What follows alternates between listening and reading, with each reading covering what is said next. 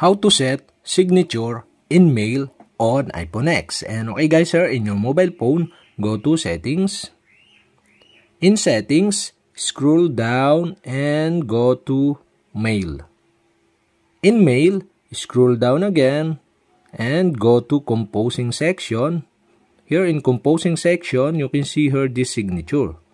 And now you can set the signature by tap this and you can change this signature. So for my example, I set the signature into Chad, my name.